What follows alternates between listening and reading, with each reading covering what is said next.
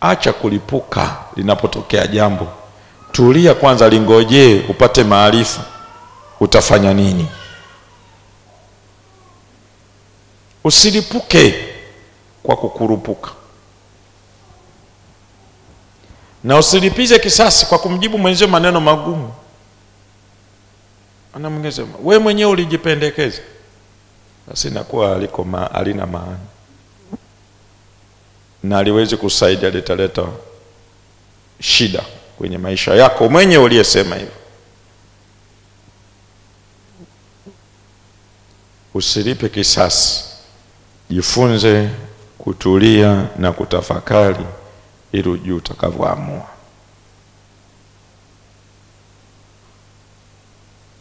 Mungu wengine amewaweka akiba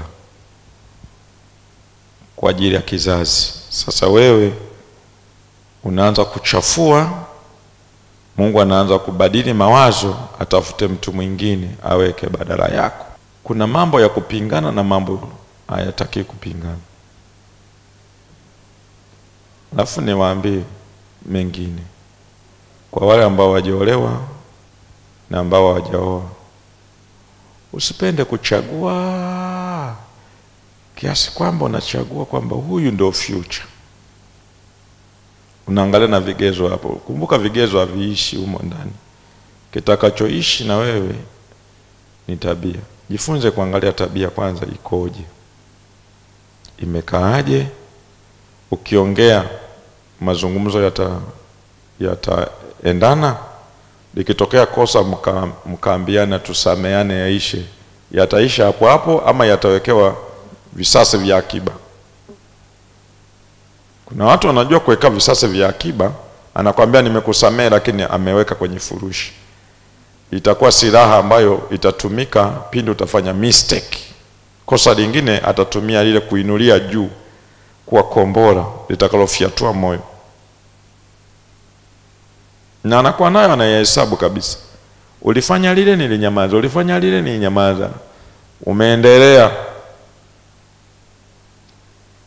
Unajua, ukihesabu yale ukachanganya na yale, unasababisha ule moyo wa mtu ule agundue kabisa wewe sio mtu wa kufaa kuendelea naye mnakotaka kwenda. Atagundua kabisa. Mkifika uzeeni, utakuwa kama kunguni ambayo unatia dawa haitaki kutoka, inanyonya damu masaa yote. Mnajua uzeeni ndo kuna usumbufu kuliko ujanani.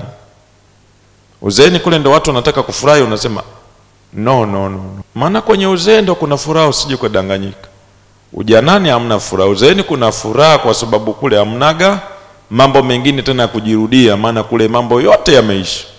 Mmebaki wewe na Mungu sasa na maisha yako unayomalizia mbele, alafu ndo upate usumbufu, si unaondoka ukiwa na huzuni, na ukiondoka na huzuni, maana yako unaenda motoni moja kwa moja. Na Mungu anasema mtu mwenye yake ata atashiba uzee mwema. Uzee mwema maana yake hata ukifa unakuwa na heshima unakokwenda, na heshima nyingine unaiacha duniani ambayo watu watakuwa naiiga na kuifuata. Usikubali tabia yako ikufanye ushindwane na mtu. Kuna wengine wakali wanatutabia tu wazazi wao, mwingine amekopi kwa mama yake, mwingine amekopi kwa baba yake. Vikikutana hapo lazima viumane. Kuolewa unaweza kuolewa, lakini ukawa na hivyo vitabia Ukikutana na mwanaume ambaye naye tabia zake hazijaondolewa ndani,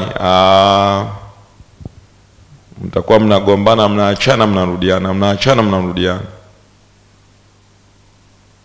Ujiona mtu unakuta ameachana na mwenzio, anarudiana, anaachana, anarudiana, mwisho wa siku unakuta wana wanarudiana, lakini tayari waishawekana alama za kutosha, na wakati huo wanakuwa hawana chochote wanachokifanya kinaendelea. Mimi nataka nikwambie Unataka kuoa ama kuolewa, jifunze kwanza, usiondoke na tabia ambazo umezaliwa nazo ulizorithi, ziondoe, uende ukaanze upya huko unakokwenda. Hata kama utakutana na mwanaume lenyewe lina tabia za mama yake, umeolewa nalo, ukalishinde kwa tabia njema uliojifunza nayo wewe, hilo libaba litaanza kuwa lizuri lenyewe baada ya kuona wewe ni mwanamke mwenye hekima hodari unayeweza kutuliza kelele. Ni heri mwanamke awe mnyenyekevu asiyekuwa na kelele akaolewa na mwanaume mwenye kelele.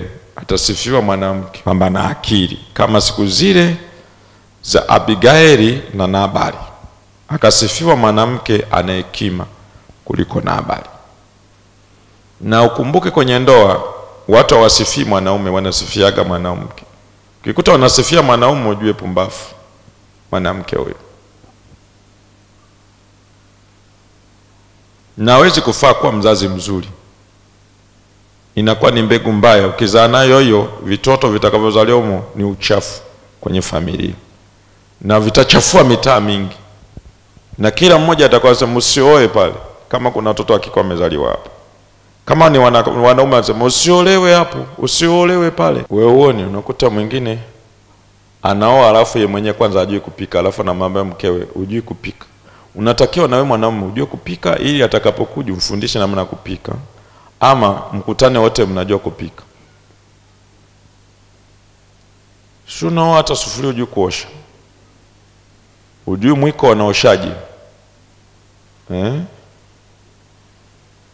Sasa siku ukoo mwanamke naye ajui kuosha mwiko. Sasa atakuwa anasongea mwiko ugali huo yaani amesongea jana kesho tena anasongea huo yaani hujaoshwa umewekwa tu kutani umekaukia anakuja kusongea huo sufuria alioshwi. Ama unakutana na mtu hata kitanda chake atandike ajui. Shuka linakaa hata mwezi mzima lijafuliwa hmm? alafu anaoa anaambia mwanamke wangu mchafu afui mashuka. Ye mwenyewe kwanza alikuwa mchafu. Ulitakuwa na tabia mbaya alafu unamwambia na mwenzio na tabia mbaya. Lazima ujifunze utoe kwanza boliti lako mwenyewe la jicho ndipo na la mwenzio litakuwa rahisi kutolewa